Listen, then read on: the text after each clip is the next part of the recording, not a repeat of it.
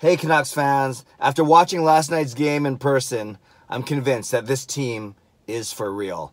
I'm Clay Imoo. I'm at Canuck Clay on Twitter. I'm at Clayton Imoo on Instagram. I'm the founder of the GLCPC, the Good Looking Canucks Positivity Club. And this is my Canucks take, all in one take. It's Clay's Canucks commentary for Tuesday, January the 28th. And yes, I say this team is for real. I didn't say they're going to win the Stanley Cup. I didn't say they're going to win the President's Trophy. I didn't even didn't even say that they're going to knock off the Blues in a seven game series, which I'll get to in a second. But Look at where they are. They're now three points atop the Pacific Division. Now, actually, they've played a one more game than a couple teams, so it was weird. The Canucks have always had games in hand, but they're relatively equal still with a lot of teams. So three points above the Pacific Division, and they just beat the defending Stanley Cup champions and they also not only the defending Stanley Cup champions but the St. Louis Blues they also beat in the St. Louis Blues they beat the other division leader in the Western Conference. And we talked about how, you know, you got Washington and you have Boston and you have St. Louis, the top three in the league, and then you have you have to scroll down to 12th or 13th place, 12th now for the Vancouver Canucks to find them. But it doesn't matter.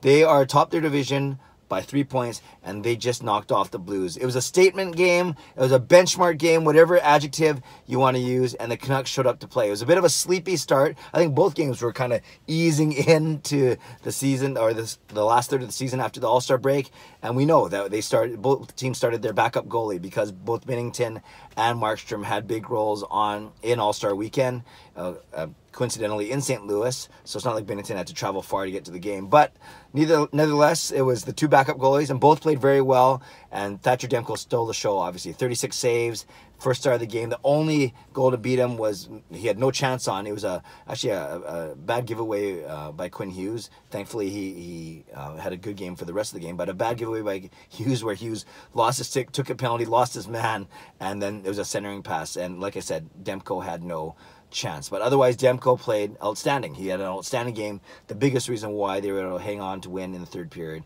and and and, and take the two points, uh, an important two points. The Canucks two, top two lines played very well. JT Miller with two points, Jake uh, two goals. Jake Virtanen with two assists.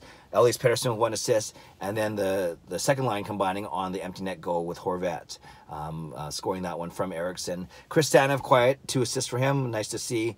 And then third and fourth line, not so good. You know, a lot of talk about Boeser. We, uh, I know we're going to talk about that a lot. We won't do too much today, but Boeser on the third line, not that effective. And the fourth line, although Jay Beagle got a lot of ice time, fourth line still gets caved in a lot, and that's what I really noticed last night. But St. Louis, a very tough team, a very good team. They're big. Oh, man, are they big. They're a big team. They're rough. They're aggressive. But the Canucks uh, met them check for check, block for shot for block shot. Another very impressive part of the Canucks game. And overall, the Canucks did not look out of their league at all. They looked like a division uh, leader, as did St. Louis. Now, as I got excited as I watched the game, as I think you know, the Canucks can certainly get out of the Pacific Division. If the playoffs started today, the Canucks would be the second seed. Obviously, they're not going to, they're still eight points behind St. Louis. So the Canucks would be the second seed. That means they would have to play against a stronger wild card team. And actually, before the game started last night, um, the, the team that was in seventh place was Arizona. So Arizona then stays in the division. So imagine Vancouver knocking off Arizona and then having to play Calgary or Edmonton in the second round. I'd take that. I definitely take that. So I think well, I think you could argue for all five teams, but any team has a chance to come out of the Pacific unless you um, have to get uh, a Central Division team as your wild card uh, opponent. Then it gets a little trickier. But let's presume it's indeed four Pacific teams. I give the Canucks uh, as good a chance as anyone. Heck, they're leading the division right now. So I can see the Canucks getting to the third round. Now imagine if they have to play against St. Louis or Colorado in the third round. That's when it gets a little iffier. I'm not getting ahead of myself. I'm not saying they're guaranteed to make the conference final, but it is conceivable.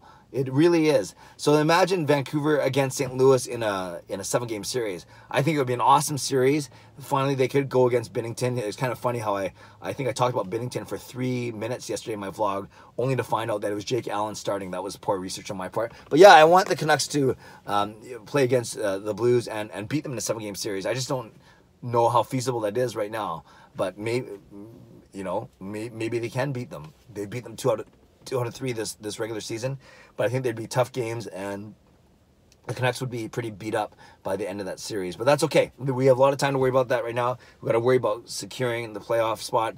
And if it comes with a number one seed coming out of the Pacific, second seed overall in the conference, that would be awesome. A couple other things I want to mention. I tweeted about this last night because I go home, I do rewatch the games, especially when the Canucks win. I usually don't do it when they lose, but when I go to a game and which I was last night. I was there with my my son Sean and and my uh, season ticket partner. So so Mike is my season ticket partner. We split the seats or have one seat each, and then the seats right next to us is my buddy Jens. And you see that you see that we do whenever we're together about once a month we do um, our our intermission reflections, and we have a lot of fun. We usually predict everything wrong, but last night we didn't. Actually, Jens, to his credit, nailed the score of three one. He predicted that after the second period, which was fine, but um, you know he predicted that that third goal for the Canucks. So uh, it was at the game come home, watch the rest of the game, watch the game again, usually the highlights or sometimes the whole game.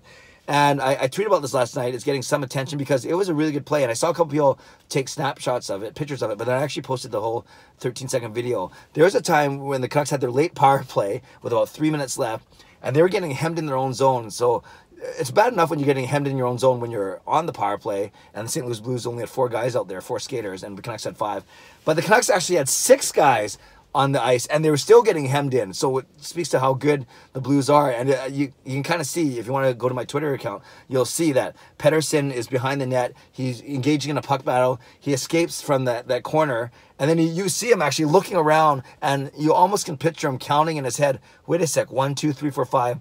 I'm number six. You actually see him do this, and then he bolts to the bench, and which is kind of cool. Uh, you don't see him go onto the bench, but you see him exit the frame, and you know that he's he's skating in the bench as fast as he can, so the Canucks don't get called with a too many men penalty. It was just um, it was just a light moment. It was in, inconsequential to the game to the result. But uh, it, just another thing where it showed his brilliance. Uh, and you might say, well, Clay, why are you calling him brilliant? He can count to five. Still, to have the wherewithal to notice what was going on, and it probably didn't feel right. He was probably saying, why do I see so much blue?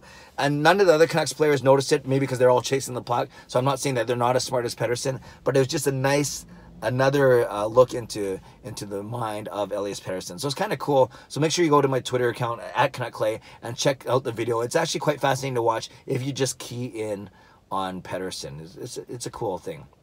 Okay, one last thing I want to talk about.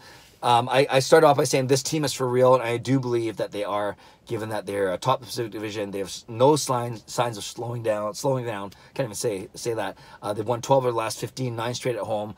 Demko playing lights out, uh, all these things.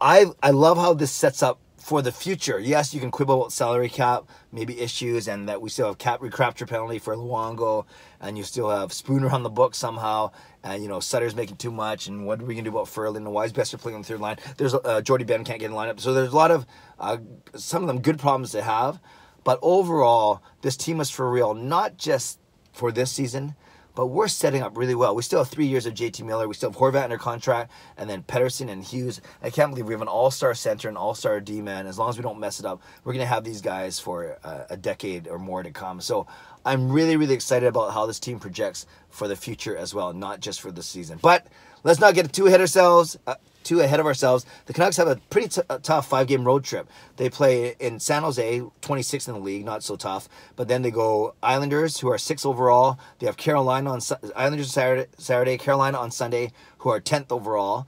And then they play Boston on Tuesday or Wednesday. I can't remember one of those two next week. And Boston is, is second overall.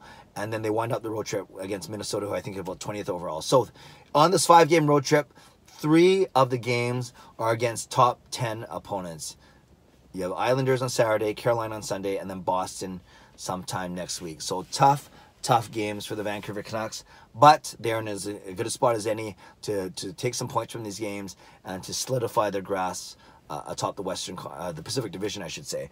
Now, I don't expect all the other four teams, Calgary, Edmonton, Arizona, and Vegas, to stay tied forever. So maybe we're going to start to see some separation if I had to predict, I, I predict that Edmonton's going to drop uh, drop out of the race, but we shall see. I've been proven wrong many times before, but I don't care who's down below. I just care who's up top. And right now, it's the Vancouver Canucks. So, Canucks fans, let me know what you thought about last night's game.